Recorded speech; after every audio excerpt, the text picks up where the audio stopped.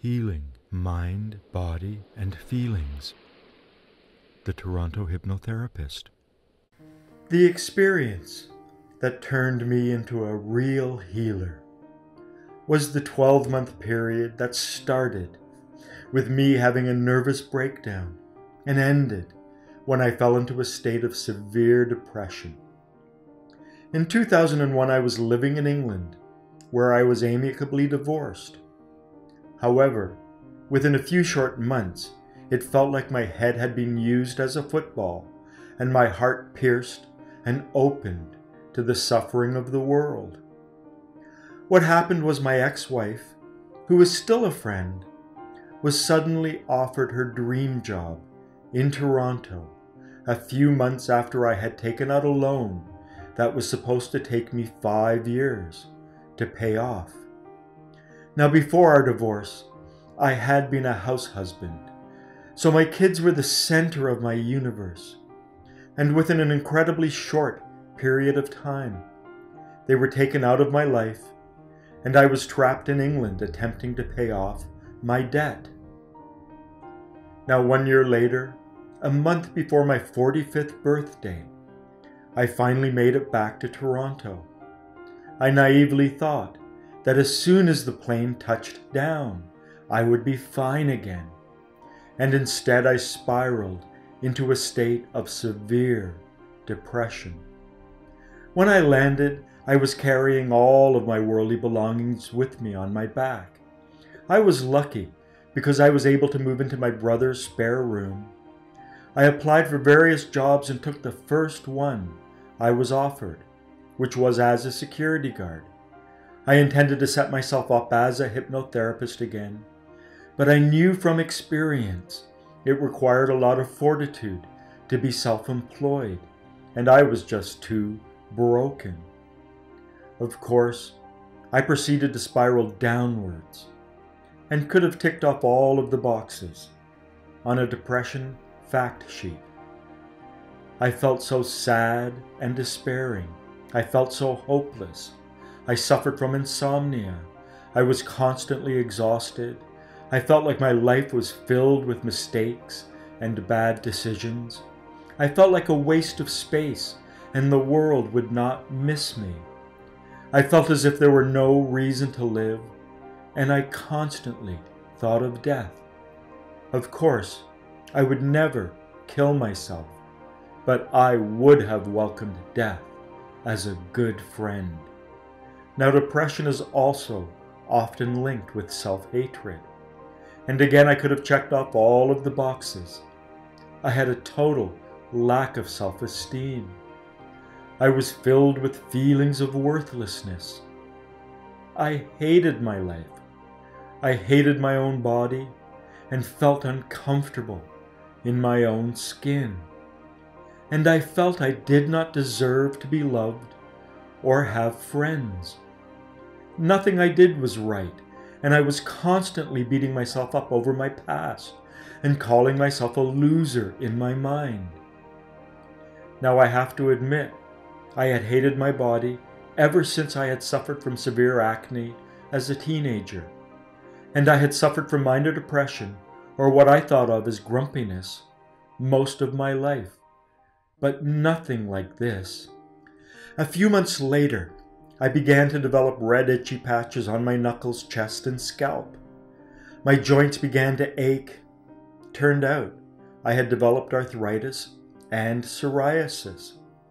And this was when everything began to change. I knew these were autoimmune diseases and caused by the body attacking itself. And this was what I had been doing to myself with my thoughts and feelings. The suffix itis, as in arthritis, denotes pain and inflammation. And I was both mentally and emotionally in pain, and my thoughts and feelings were so inflamed there was such a direct connection that a light went on inside my head. Now, I had been a student of Gurdjieffian psychology since 1981 and first started practicing hypnosis professionally in 1989. And I knew I had the inner resources to either prove or disprove, at least to myself, whether or not I had caused these diseases with my thoughts and feelings. I became obsessed with George Gurdjieff's theory of impressions. He said that everything we experience, whatever we see, sense, hear, smell, or taste, leaves behind an impression. He used the metaphor of grooves scratched into a vinyl record. I came up with a metaphor of drops falling from the ceiling of a cave. One drop didn't do anything, ten, one hundred, or one thousand didn't do anything, but with enough drops a stalactite began to grow. This led me to the conclusion I had poisoned myself with this negative self talk until the residue of these thoughts built up and led to my arthritis and psoriasis. Now, many people have talked about the power of thoughts. The Buddha said all of our problems came from the mind. In the 19th century, Mary Eddy Baker, the founder of Christian Science, said that we heal ourselves through molding and chiseling our thoughts. In the early 20th century, author Napoleon Hill wrote his bestseller, Think and Grow Rich, extolling the power of positive thinking. In 1976, New Age teacher Louise Hay published her best selling book, Heal Your Body, where she listed over 450 thought patterns that she claimed lay behind specific illnesses. So I began to change my thoughts by deliberately repeating affirmations over and over in my mind. And after six weeks, not much had happened. However, my father was a scientist, and I was determined to experiment on myself. Then it occurred to me that George Gurdjieff said we are three brained beings. We have a head brain, a body brain, and a feeling brain. And since I was a hypnotist and an NLP practitioner, I knew how to work with thoughts, sensations, and feelings. George Gurdjieff also wrote a single paragraph in a 1200 page book where he said that real inner change requires the repeated and harmonious working of our head brain, body brain, and feeling brain. Now, he also said that we have two different ways of thinking, which he called mentation by thought and mentation by form, or thinking with words and thinking with our sensorial imagination. That is, thinking in images, non linguistic sounds, smells, tastes, and sensations. Now, I just knew in my heart that the most important affirmation anyone can say is, I love myself. And this went double for someone such as myself. So I started in my head brain and said the words, I love myself. And using my sensorial imagination, I imagined I was standing in front of myself, looking into my eyes. Then I imagined reaching out and putting my hands on my shoulders, sensing my body while imagining my scent. In other words, I involved as many of my inner senses as possible. Then I used hypnosis and NLP to recall a time I actually felt comfortable in my own skin and loving towards my body. And I brought back the physical memory of these sensations and re experienced them while repeating and directing the words, I love myself into my body. Then again, using hypnosis and NLP, I recalled a time I felt such a feeling of love for myself. And as I re experienced this feeling, I breathed the words, I love myself, up through my solar plexus, lungs, heart, throat, jaw, mouth, face, eyes, and right into my tear ducts. I breathed up a feeling of self love along my primary feeling circuit. Then I looped back around through the words and sensorial imagination of my head brain, the sensations of my body brain, and the feelings of my feeling brain over and over. I actually created a looped recording I listened to when I was on public transit. I would find a seat, close my eyes, and put myself into a light hypnotic trance and just circle around and around. Mind, body, feelings. the results were amazing, and I now love myself.